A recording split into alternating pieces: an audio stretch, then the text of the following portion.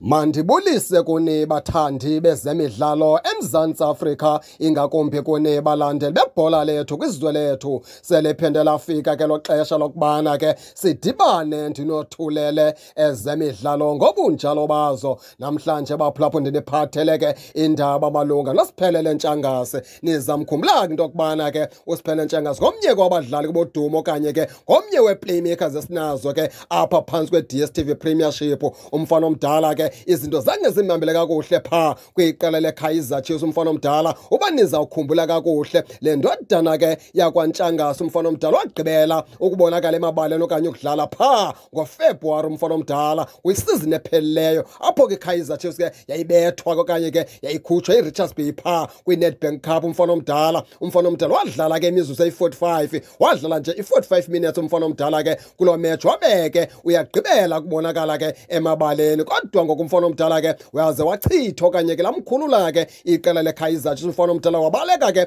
wobhabha phaa kwezegalantsi uthe mayefika phaa kwigalantsi umfana omdala waza kumqeqeshi ke wegalantsi ebekhona phaa wakhalaza wade ndodana ke kwantshangasi ke ize ngaphandle ke kwesivumelwano ngoba yena kangayifune phaa kwigalantsi iziswe ke phaa yimanagement yegalantsi umfana omdala futhi ke umqeqeshi wegalantsi wakhalaza ke khalazela ke umcimbi efitness ke apha ke kuntshangasi sithi umfana omdala ke kangadlala ixesha elide phaa kwikaizer chiefs. Into ethetha ukuthi ke lo mfana ubethwa yifitness kodwa ke ngoku iindaba ezithe zaphuma emveni kokubana ke igalantsi ithe ke yagxosha ke laa mqeqeshi ebekhona. Umqeqeshi okhoyo ngoku unobudlelwane kobuhle phaa nosiphelele ntshangasi kangangokuba ke iindaba ezigqiba phonga ukuthi umfana omdala ke wayesekhona ke kwi-starting lineup apho ke iqela legalantsi beqobisana ke no-royal am umfana omdala ke waye wajikwa ke sekungaphakathi ebali ngenxa yobuxhakaxhaka ke okanye kwezinto ezithile ke bezingakagqitywa ukusayinwa phantsi kwakhe kwanyanzela into yokuba umfana omdala ke makahambe ke ayokhulula phaa edressing noma angabi sadlala ke kulo mdlalo. Kodwa ngoku iindaba eziphinde zaphuma kuthiwa kumfana omdala ke